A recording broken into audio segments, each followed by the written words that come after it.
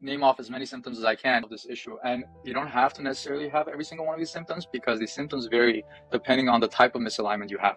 So the blurry vision, feeling like your vision goes in and out of focus, double vision, uh, seeing colorful lights, uh, floating lights, flashing lights, headaches, migraines, any kind of pain around your eyes, around your forehead, below your eyes, along the temples, even back of it, because it can create this tension.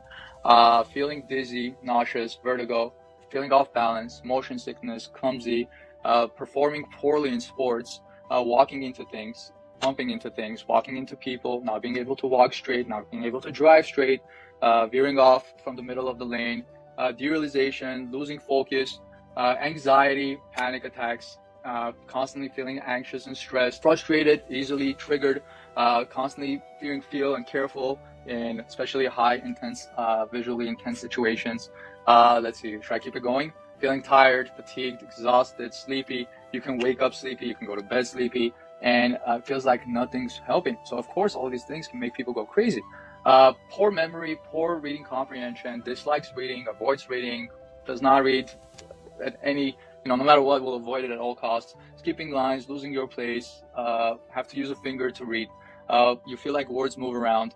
Uh, poor spelling, poor copying skills, poor eye contact, struggling to switch focus. Focus takes time when you're switching back and forth from one point to another point. Uh, squinting, closing one eye, noticing an eye turn, inward, outward, tilting your head or turning your head or chin up, down, chin up, any kind of head posture that you notice in videos and photos, all related to it uh, holding things too close or too far, uh, riding things slanted, uh, what else?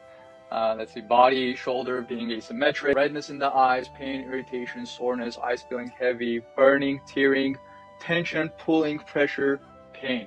I listed like I would say maybe over 50 symptoms, and again, all these symptoms vary depending on uh, you know what type of binocular vision dysfunction you have, how severe it is, and how